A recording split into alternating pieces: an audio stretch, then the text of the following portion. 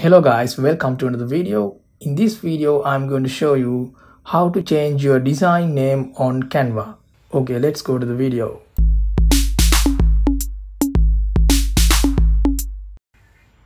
Okay, first let me create a design.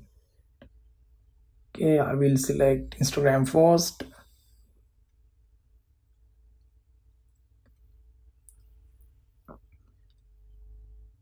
Then I will select a template.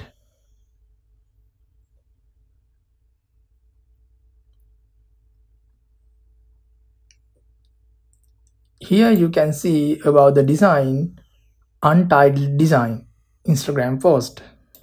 Click on that. Now you can type your design name here.